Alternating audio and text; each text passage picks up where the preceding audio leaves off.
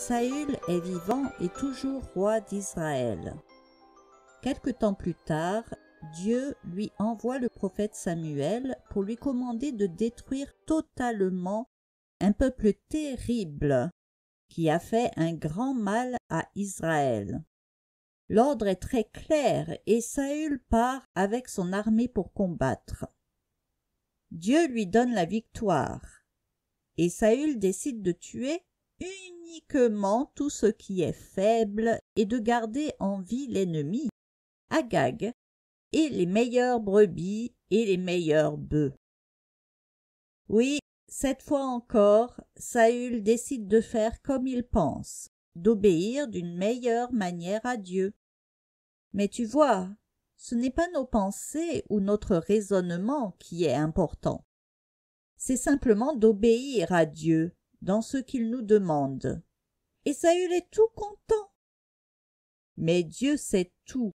On ne peut rien lui cacher, et il lui envoie Samuel pour lui dire encore une fois qu'il ne sera plus le roi, car il ne veut plus obéir à Dieu.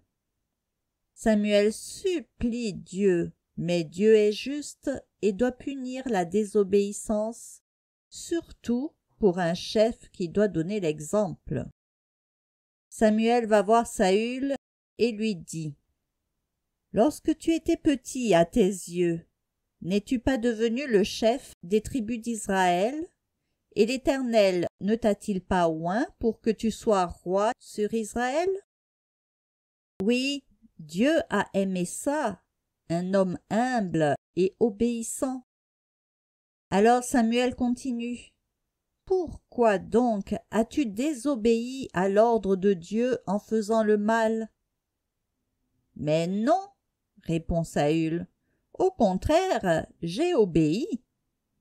Mais le peuple voulait garder les meilleurs animaux pour les offrir en sacrifice à Dieu, et je les ai écoutés eh, parce que j'avais peur d'eux. Oh là là, quel mensonge Comment le roi, qui d'ailleurs était le seul avec son fils à avoir une épée, peut-il avoir peur du peuple? Et pourquoi n'a-t-il pas eu peur de Dieu plutôt? Il s'est dit qu'au lieu de tuer ces animaux, comme Dieu le lui a demandé, ce serait quand même mieux d'en faire des offrandes. C'est comme s'il savait mieux que Dieu. C'est de l'orgueil, tout le contraire de l'humilité. Saül est devenu trop important à ses propres yeux. Quel malheur. Samuel dit. L'Éternel trouve-t-il du plaisir dans les holocaustes et les sacrifices, comme dans l'obéissance à la voix de l'Éternel? Voici l'obéissance vaut mieux que les sacrifices, et l'observation de sa parole vaut mieux que la graisse des béliers car la désobéissance est aussi coupable que la divination, et la résistance ne l'est pas moins que l'idolâtrie et les théraphimes. Puisque tu as rejeté la parole de l'Éternel, il te rejette aussi comme roi. Ce qui veut dire que Dieu préfère l'obéissance exacte, plus que tout. Et ce n'est pas juste pour Saül, mais aussi pour moi et pour toi nous devons toujours obéir à sa parole, la Bible. Dieu nous dit qu'elle est comme notre pain de chaque jour, car elle nourrit notre âme.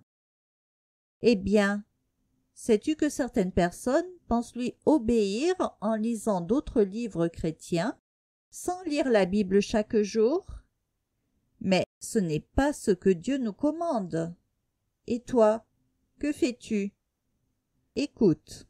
Jésus répondit Il est écrit L'homme ne vivra pas de pain seulement, mais de toute parole qui sort de la bouche de Dieu. Revenons à notre histoire. Saül se rend compte que là, c'est vraiment sûr. Dieu va le remplacer par un autre roi. Alors il supplie Samuel de lui pardonner et de l'honorer devant le peuple. En fait, Saül ne pense qu'à lui et à sa réputation. C'est ce qui est important pour lui. Samuel n'a plus jamais revu Saül, car il était trop triste que cette histoire se termine si mal. Mais Dieu a laissé Saül roi encore plusieurs années, car il préparait le cœur du futur roi. De son côté, Dieu envoie le prophète Samuel dans la famille du futur roi pour loindre. Ce mot veut dire verser de l'huile sur la tête de quelqu'un pour lui montrer que Dieu le choisit et le bénit. Quand Samuel voit le fils aîné qui est grand, Samuel est sûr que c'est lui le futur roi. Et l'Éternel dit à Samuel, Ne prends point garde à son apparence et à la hauteur de sa taille, car je l'ai rejeté. L'Éternel ne considère pas ce que l'homme considère. L'homme regarde ceux qui frappent les yeux, mais l'Éternel regarde au cœur. N'oublie jamais cette phrase. Dieu ne regarde pas comme nous. Il regarde le cœur où tout est caché, le bien et le mal. Finalement, le père n'avait pas amené son plus jeune fils qui garde ses brebis. Et pourtant, c'est lui. C'est le tout jeune David qui est choisi. Il est beau et blond, mais surtout, il aime l'Éternel Dieu de tout son cœur. Maintenant toute sa famille sait que c'est lui qui deviendra roi. Mais David reste chez lui à garder les brebis de son père, tandis que ses grands frères rejoignent l'armée de Saül. C'était la même chose quand Dieu avait choisi Saül, tu te souviens? Il y a un temps pour tout. Il faut juste être prêt quand le temps de Dieu arrive. En attendant, Saül est toujours roi, mais un mauvais esprit lui fait du mal et il devient très méchant. Saül ne sait rien de David. Pourtant, ses serviteurs le lui présentent pour jouer de la harpe, car ça calme Saül. Un jour, pendant la guerre, David va tuer un géant et ça va tout changer. Mais ce sera pour la prochaine histoire. Quand Saül se rend compte que c'est David que Dieu a choisi, il cherche à le tuer, et il ne va penser qu'à ça pratiquement. Alors David va devoir fuir et se cacher de longues années.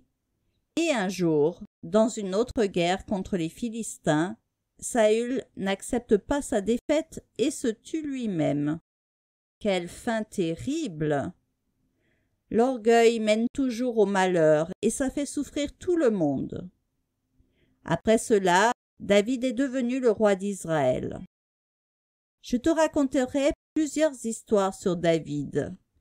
Mais je t'encourage à lire les histoires de Saül toi-même dans 1 Samuel à partir du chapitre 10 jusqu'au dernier chapitre et 1 Chronique chapitre 10.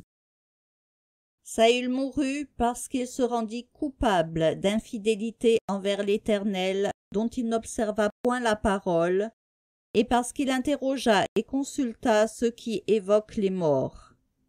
Il ne consulta point l'Éternel. Alors l'Éternel le fit mourir et transféra la royauté à David, fils d'Isaïe. Nous allons prier. Seigneur Dieu, Éternel, c'est toi qui es juste. Aide-nous à t'obéir exactement dans ce que tu nous dis dans ta parole, dans la Bible. Aide-nous à la lire jour après jour comme nous mangeons chaque jour, à t'écouter, à nous nourrir de toi. Que tu sois glorifié et que nous te soyons toujours agréables. Amen. Chantons des louanges à notre Dieu. Ce que Dieu dit, il l'a accompli. Moi je le crois, et c'est ça la foi. Ce que Dieu dit, il l'accomplit. Moi je le crois, et c'est ça la foi. Dieu résiste aux orgueilleux, mais il fait grâce aux humbles. Il pardonne celui qui croit que son cœur est mauvais, qu'il a besoin de paix. Voilà l'histoire est finie, à bientôt.